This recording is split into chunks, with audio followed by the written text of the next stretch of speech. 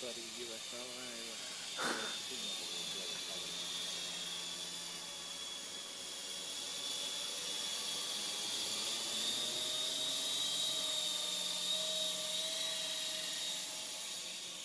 With the way it moves out so quick and you wouldn't know what the that was if it's too over.